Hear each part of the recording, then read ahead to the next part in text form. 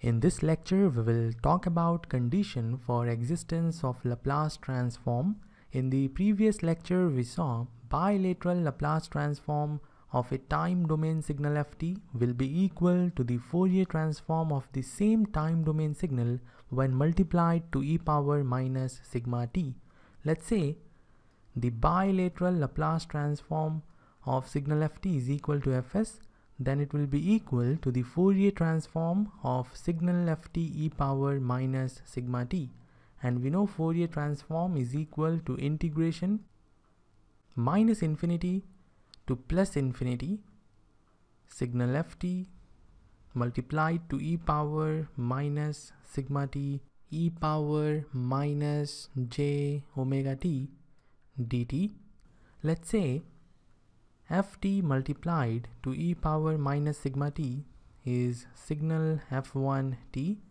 So our bilateral Laplace transform will be equal to integration minus infinity to plus infinity. Signal f1 t e power minus j omega t dt. And we know the Fourier transform exists only for absolutely integrable signals so if we want our right hand side to exist, signal f1t should be absolutely integrable. So the existence of bilateral Laplace transform fs is now dependent on the absolute integrability of signal f1t. And we know the condition for a signal to be absolutely integrable, the modulus of the signal when integrated from minus infinity to plus infinity with respect to time should be less than infinity. This is the condition for a signal to be absolutely integrable and f1t is equal to ft e power minus sigma t.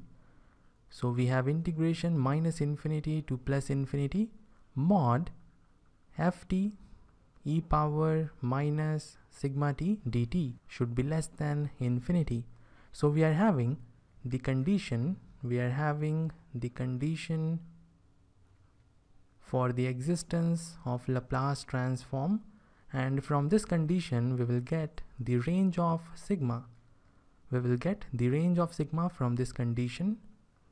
Range of sigma.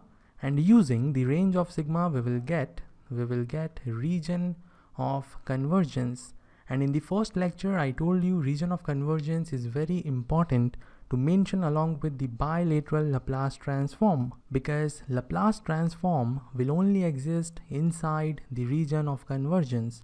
Outside region of convergence, Laplace transform will be infinite. Therefore, ROC is important and we will get ROC from the range of sigma and we will get range of sigma using this condition. So remember this condition, it will be more clear after solving one example. So let's move to the example.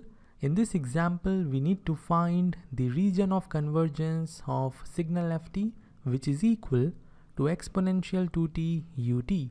So we are having a time domain signal ft and it is equal to e power 2t ut. We will use this condition to find the range of sigma. So we will first calculate integration minus infinity to infinity mod ft e power minus sigma t. We will calculate integration minus infinity to infinity mod ft e power minus sigma t dt. This is equal to integration minus infinity to infinity mod e power 2t ut because ft is equal to e power 2t ut multiplied to e power minus sigma t dt. Because of ut, the range of integration will change. The range of integration will become 0 to infinity. e power 2t, e power minus sigma t we can write as e power 2 minus sigma t dt. And according to the condition for existence of Laplace transform this integration should be less than infinity. So we have integration 0 to infinity mod e power 2 minus sigma t dt should be less than infinity. And the integration will be less than infinity when 2 minus sigma will be negative.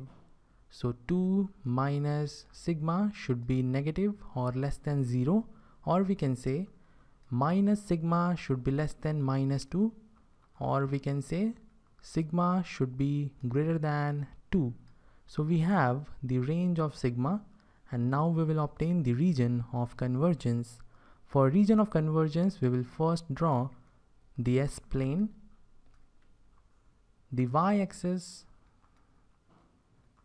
is the axis of j omega, the x-axis is the axis of sigma and this is our S plane.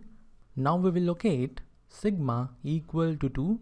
We will locate sigma equal to 2 sigma equal to 2 will be a straight line it will be a straight line like this let's say sigma is equal to 2 here so we have a straight line like this and the region of convergence will be all the region we are having